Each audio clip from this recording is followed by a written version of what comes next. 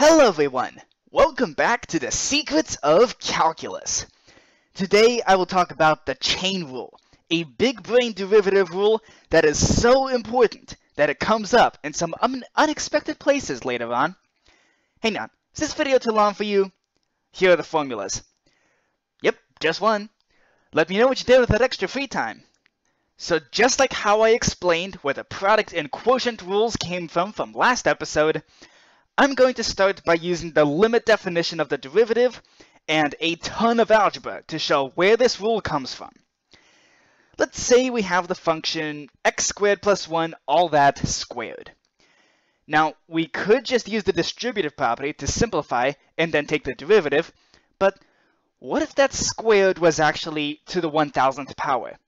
Sure, the binomial theorem speeds up the expansion significantly, but I don't want to have to do that.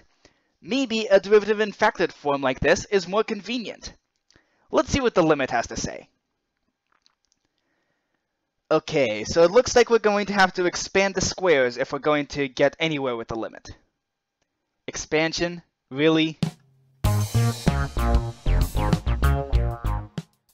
And since this is a limit, we now use convenience to say that approaching zero is not the same as equaling zero, which lets us divide by h without breaking math. And now we use convenience of limits again to now say approaching is the same as equaling, and we solve our limit. So this answer is great and all, but I kept hinting at a better way to do all this. Something that would work even if you had x squared plus 1 all that to the 1000th power. Now watch what happens when I selectively factor and simplify things to prove a point. Well, would you look at that? It's like we treated x squared plus 1 like a separate function, with the squared part being what we cared about. We took the derivative using the power rule from before, and then multiplied by the derivative of the x squared plus 1 part. And actually, that's exactly what the chain rule says to do. We can generalize this further by declaring the existence of a new variable, u equals g of x. And we're going to treat u as though it were a variable. We're going to use the top part of the derivative fraction now because it's time for some shenanigans.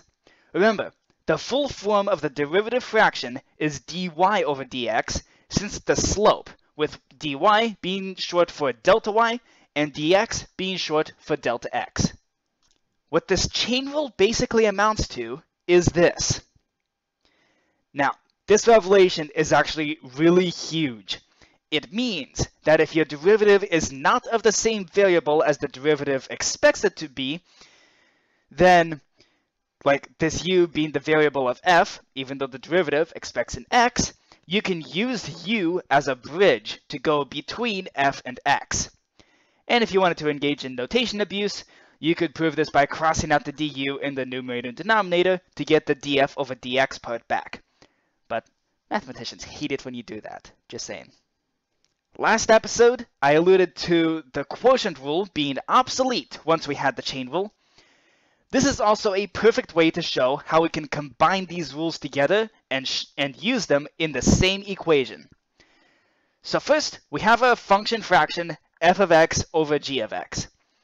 This g of x can be rewritten as g of x to the negative 1 power, so we get f of x times g of x to the negative 1 power. Now we use the product rule. Here, we recognize an inner function slash variable, u equals g of x, swallowed by an outer function, u to the negative 1. We know how to take the derivative of u to the negative 1 with respect to u. That's negative u to the negative 2. And then we simplify a bit, and finally, we get the quotient rule we all know and love. We just multiply the first fraction by a fancy one, which would be g of x over g of x, and then combine the fractions. There we go, low d high minus high d low over low squared. That's the quotient rule. Now, in a college course, this is where the professor would be talking about linear approximation and maybe even Newton's method for approximating things. However, we will delay that until the approximation section.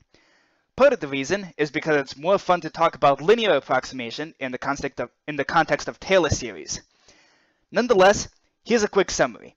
The derivative gets you the slope of a line tangent to the function, and then you can use linear things to move that line up to the point where you made a tangent. Linear approximation is where you go along this tangent line and try to predict where the function will be based on that tangent line. Spoiler alert, this is a very bad approximation, and it only gets worse the farther along the line you go. We now have big brain rules for any derivative we encounter. So, step right up to a brand new game show of Find your x.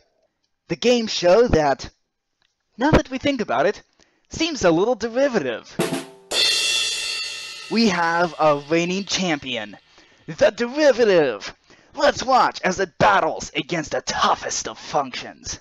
Our first contestant, sine of x squared. Oh, toasted with the chain rule. Let's see a tougher function. Coming into the ring, x cubed minus 3x squared plus 5x minus pi all to the 100th. It's got pi in there. Can the derivative take it down? Oh, it didn't even break a sweat. Let's go even stronger. e to the e to the e to the x. Can the derivative climb to the top? Of course it can. Chain rule doesn't work the first time. Just try it again. Let's now put the derivative up against the strongest opponent yet. x squared plus y squared equals 1! And it found x squared! OMG, derivative is unstoppable! Now it just finds the x and y squared and... Wait, there's no x and y squared. Uh... Now what do we do? Tune in next episode to see how we resolve this situation.